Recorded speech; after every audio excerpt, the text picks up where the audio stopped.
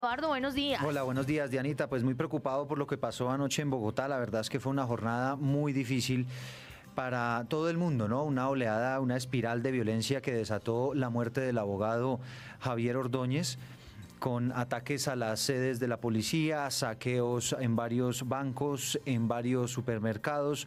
Hay unas imágenes terribles. Se acaba de entregar un balance más actualizado por parte del gobierno nacional que ya está hablando de siete ciudadanos muertos. Lamentablemente como consecuencia de lo que ocurrió en las últimas horas, varios de ellos como consecuencia de disparos de armas de fuego. Dice el gobierno que todavía no ha podido establecer si quienes dispararon fueron, fueron integrantes de la policía, pero evidentemente en redes sociales empezaron a movilizar ya y, hacer virales algunos videos donde eh, habría algunos indicios de que efectivamente hubo efectivamente excesos de la policía. El balance además habla de 93 policías lesionados, 55 civiles. Es, hay 56 sedes de la policía afectadas en todo el país. Aquí en, Bogotá en particular hubo 14 CAIs que fueron completamente incinerados y destruidos, 77 vehículos y 25 motos afectadas, 5 sedes bancarias afectadas también y además un balance de 70 detenidos. En este momento hay muchos problemas en el municipio de Soacha con el transporte porque resulta que de los mm, transmilenios que fueron afectados, ya le entregó el balance completo, 10 de ellos quemaron, pero los volvieron cenizas, Dianita. Sí, señor. En eh, la autopista sur, muy cerca de Soacha. Allí tengo una periodista, Silvia Charri, que está pasando en ese lugar. Eduardo Yentes, muy buenos días. Pues mire, les cuento que hemos venido recorriendo toda la autopista sur tratando de llegar precisamente a Soacha a reportar desde las estaciones que están cerradas cómo está el tema de movilidad. Llegamos específicamente a la altura de la estación de Bosa sobre la autopista sur y nos encontramos por lo menos con seis articulados, Eduardo, hechos cenizas. El panorama, quiero decirle que es indignante, desolador. Eh, por supuesto, por los carriles de Transmilenio no están pasando buses de Transmilenio.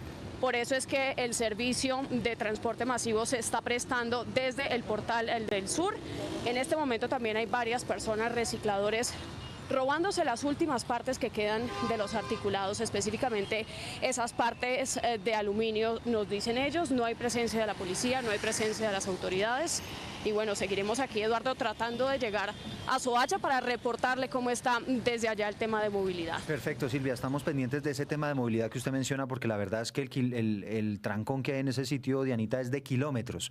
Una situación muy compleja a esta hora en el sur de la capital de Colombia. También hay reportes en la localidad de Suba que todavía hay algunas escaramuzas e intento de saqueos a cajeros automáticos. De hecho. Y eso ya no tiene nada que ver con la indignación ni con la protesta. Pues, Dianita, y yo le estoy dando datos. Listo, señor. No me pique la lengua.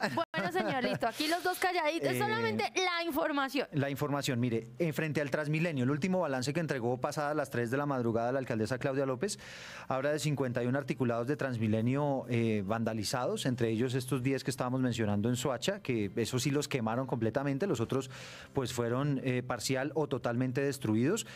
Eh, articulados, pues son los buses rojos, los largos, 38 buses del SITP y 49 buses zonales también que fueron afectados como consecuencia de esa cadena de violencia que se desató en las últimas horas aquí en la capital del país. Están ofreciendo 50 millones de pesos de Anita para encontrar a los responsables de la muerte de los civiles, que obviamente es un, un, hecho que deja mucho dolor, porque estamos hablando de que eh, la muerte de una persona, sí, eh, en medio de un abuso de la policía, pues terminó con la vida de otras siete personas que estaban protestando también en las últimas horas. Y, las imágenes de violencia, Dianita, por todas partes, hoy están convocando otra vez movilizaciones para esta noche, plantones y pues no me queda más que esperar que esos plantones puedan hacerlos de forma pacífica. La propia familia del abogado Javier Ordóñez está haciendo ese llamado para que no haya violencia. Dicen que, reciben esos sentimientos de solidaridad de la gente que ha querido manifestarse eh, en contra de la policía de manera pacífica, pero que eh, evidentemente lo que ellos no esperan es que esto termine causando más violencia y termine dejando a su paso más muertos. Listo, señor. Aparte de esta noticia que sabemos que es lo que está movilizando a la ciudad de Bogotá el día de hoy y de la cual pues estamos pendientes todos nosotros, ¿hay información adicional? O sea, el COVID ya no existe hoy en Colombia. Ah, bueno, el COVID Ahí, lo que pasa con respecto al COVID es que muchos de los que salieron ayer a marchar, pues evidentemente se les olvidó en medio de la adrenalina que existía el virus.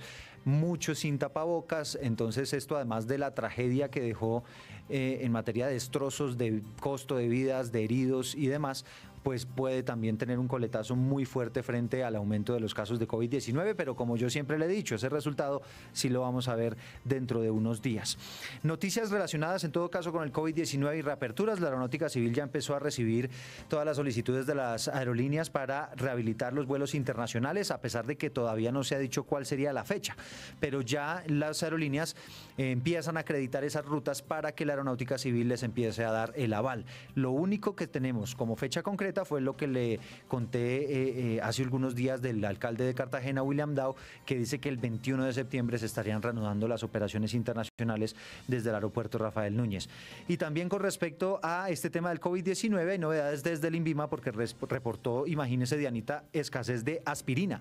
Ok. No solamente aquí en Colombia, sino en América Latina porque evidentemente hubo un aumento del consumo en esta época de pandemia. Yo no sé si usted se acuerda que en su momento incluso se alcanzó a rumorar que la aspirina era buena para prevenir incluso el COVID-19. Sí, señor, y aparte de eso, como muchos de los síntomas eh, asociados al COVID-19 es el dolor de cabeza, que si bien a usted no lo hospitaliza, pues sí le genera un malestar, seguramente la aspirina es uno de esos medicamentos que usted incluye dentro de su día a día para sobrellevar el, virus. Exactamente, lo, que le puedo contar es que el laboratorio Bayer y, y el gobierno nacional, pues lo que han dicho es que están eh, tratando y trabajando duro para recuperar existencias para lo que resta de diciembre, para lo que resta básicamente de este, de este segundo semestre del 2020. Perfecto, Eduardo, quedamos con alguna información pendiente, seguramente lo que va a pasar esta tarde en las movilizaciones que esperamos se puedan desarrollar en, en total calma. Pues mira, hay muchas cosas que se están moviendo, eh, eso que usted menciona, las movilizaciones de esta tarde-noche, pero además va a haber balance también de la alcaldía de Bogotá